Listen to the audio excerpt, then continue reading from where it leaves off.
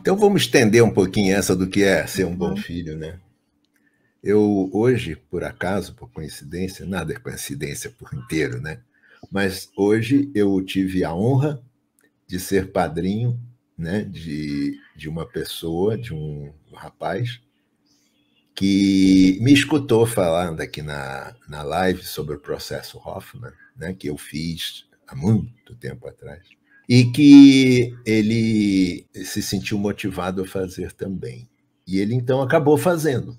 E hoje, ao ser padrinho do encerramento do trabalho dele, eu me lembrei de todo o meu trabalho, ou seja, de como, nossa, me emocionei, de como que, é, como que eu entrei no processo Hoffman, com toda a raiva que eu estava sentindo do abandono da minha segunda esposa, com toda a raiva do mundo que não me aceitava do jeito que eu era, com toda a raiva que eu estava é, depositando sobre as coisas que, segundo os meus conceitos, estavam sendo erradas na vida. E, portanto, é como se eu me dissesse: vejam, eu sou um pato preto. Eu sou um pato preto, mas eu tenho direito de ser um pato preto. Eu não sou ruim só porque eu sou um pato preto. E hoje, ao lembrar e ser padrinho desse rapaz, desse corajoso rapaz, eu me lembrei do que eu aprendi no processo Hoffman. Ah, o meu maior aprendizado ali foi perceber de que a gente só começa um caminho de cura quando a gente abre o nosso coração para o perdão. O que, que significa perdoar? Significa dizer que aquela pessoa está certa e está tudo bem? Não. Significa dizer e perceber de que o que aquela pessoa nos fez eu também fiz muitas coisas para as outras pessoas que doeram tanto ou mais. E quem classifica se foi tanto ou mais não sou eu, é a pessoa que recebeu. E, portanto, nós precisamos perceber de que isso é a mesma coisa que acontece entre pais e filhos.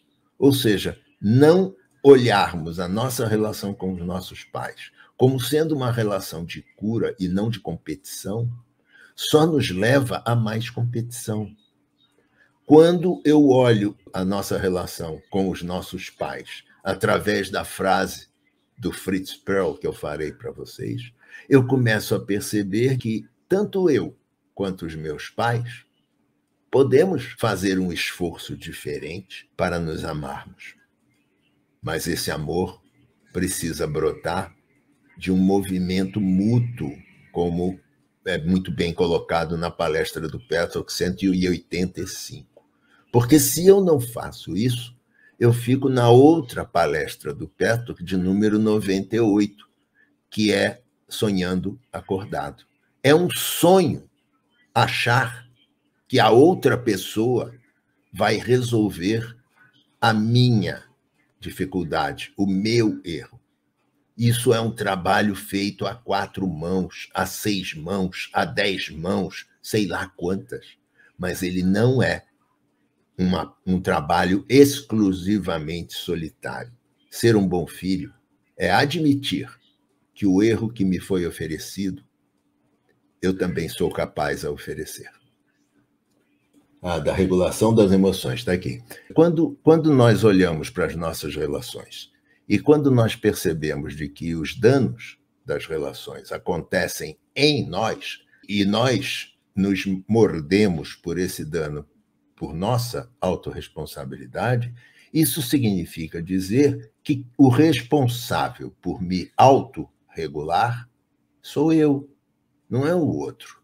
Então, a neurociência hoje, com todas as informações que ela consegue nos oferecer, nós começamos a entender isso de uma maneira melhor, porque existem dois sistemas: o sistema dopaminérgico e o sistema serotoninérgico.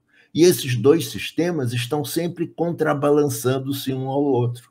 Ou seja, um oferece, vai, o outro diz menos. E, portanto, essa situação precisa de um impulso único para poder trazer o que nós chamamos de felicidade. E isso tudo é controlado pelo nível de cortisol, que faz com que um, ou outro seja inibido através de outros processos químicos que não vale a pena a gente conversar aqui. Então, é importante nós percebermos que quando nós olhamos por esse processo da autorregulação que a neurociência nos oferece, nós começamos a perceber a grande possibilidade humana, porque isso não é dizer assim, ah, mas isso precisa de 20 anos de Petrol, isso precisa de 30 anos de autoconhecimento. Não, esse processo de autorregulação é um processo que todos nós nos desenvolvemos e temos aplicados à nossa fisiologia. Por que, que nós não fazemos uso dele? Porque nós nos viciamos num ou no outro. Nós nos viciamos nos resultados, nos picos de dopamina, ou nós nos viciamos nas repressões da serotonina. E nós não percebemos de que quanto mais eu procuro picos de dopamina, ou seja, picos de bem-estar, esses picos vão desensibilizando o meu cérebro. E, portanto, o próximo pico que eu vou procurar vai ser mais difícil do que o anterior. Eu vou precisar de mais excitação do que eu precisei no anterior para que o anterior acontecesse. Da mesma forma, o processo serotoninérgico também tem algo similar, ou seja, a parte inibidora que ele pode atuar através do processo SSRI, que a gente já falou algumas lives atrás, ele se torna cada vez menos efetivo quanto mais inibidor da serotonina eu coloco no meu corpo. Então, isso significa dizer que, como a gente percebe as pessoas que são viciadas em, em alguma química, que elas cada vez vão ingerindo mais. Por que, que elas fazem isso? Porque elas estão dessensibilizadas. Então, nós precisamos aprender esse processo todo e percebermos de que nós temos esse mecanismo a nosso favor. Mas como que nós temos esse mecanismo a nosso favor, se isso parece algo que acontece fora da nossa vontade? Acontece fora da nossa vontade porque nós usamos processos da nossa vontade para dessensibilizá-los. Então, é como que se dissesse: ao invés de eu usar a minha vontade para me privar do excesso, para me privar do fácil, eu preciso usar a minha vontade para vibrar no real, para vibrar no que a vida pode realmente me oferecer, para nos oferecer a percepção de que a vida nunca foi dita perfeita e que ela, por não ser perfeita, ela nos ensina. Nos ensina a quê? A torná-la um pouco mais perfeita a cada momento. Mas se eu só faço isso e eu sou agora viciado nisso, eu crio que muitas pessoas que se dedicam a esses processos de autoconhecimento acabam se tornando. Elas se tornam pessoas críticas, em que elas olham as relações com os outros de uma forma crítica que afasta os outros como sendo uma coisa assim exagerada, é claro, entre aspas. Pobre criatura, ela não sabe o que faz. Ou seja, nessas horas eu vou para um pedestal de superioridade que só faz com que eu precise de mais do mesmo para me satisfazer nas relações. E, portanto, as relações se tornam cada vez mais impossíveis. O meu comentário é sobre o perfeccionismo, né? Ou seja, nossas crianças, às vezes, elas caminham por estradas muito perfeccionistas. É como que se tivesse uma parte nossa que se diz indignada, e por se dizer indignada, se ela se autoriza a ser agressiva. O que, que ela está fazendo, na verdade? Ela está exigindo do mundo um preço de, de ressarcir a dor dela. Mas quem disse que a dor que nós sentimos é causada pelo outro? Essa é uma reflexão importante. A dor que nós sentimos é causada pelos sentimentos que estão habitando o meu corpo, pelo que foi recebido do outro ou do mundo. A decisão disso interferir na minha vida é minha, não é, não é do mundo. E, portanto, esse ensinamento budista, né, esse ensinamento onde você se isola do processo que acontece para ser um observador do processo, ele começa a ter muita valia nesses momentos, porque não foram os meus pais que trouxeram para mim a mazela de ter que ter quatro esposas, de voltar três vezes com uma delas, de não poder honrar a segunda, e, portanto, tudo isso é muito simplista colocar a culpa externamente.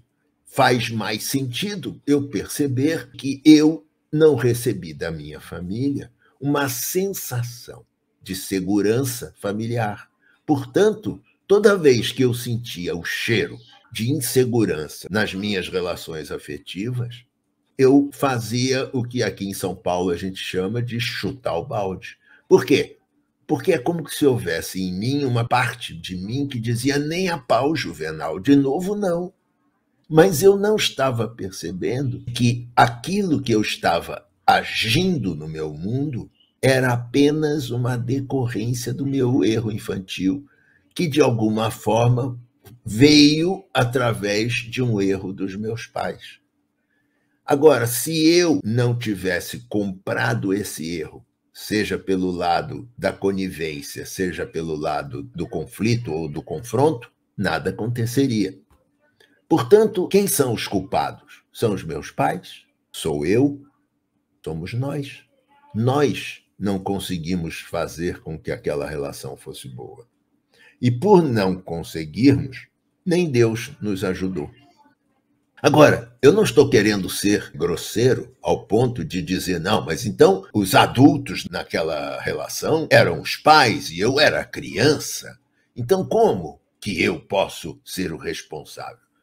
Não, eu não estou falando irresponsável. Eu estou apenas dizendo que aquilo aconteceu através de um processo pelo qual os erros de entendimento de ambas as partes se traduziram em dor. E o que nós precisamos aprender a fazer hoje, aqui agora, e essa é uma oportunidade de vocês reverem os seus processos internos, a oportunidade que está nos sendo dada aqui é perceber ao vivo e a cores que nós temos conexões novas a ser feitas com as nossas dores, que foram causadas provavelmente por outras relações, por outras pessoas, mas que elas não aconteceram naquelas pessoas. Elas aconteceram em mim mesmo e que, portanto, eu preciso olhar para isso e perceber como que isso se instalou em mim o que, que eu posso fazer com esse processo instalado? Como que eu posso entendê-lo melhor para que eu não precise mais ficar jogando no mundo, sonhando acordado de que o mundo vai resolvê-lo, tampouco eu posso esquecer que esse mundo pode fazer parte do meu processo de cura através de um processo de amor ou de inspiração amorosa que a gente chama sintaticamente de mutualidade. Então, é isso.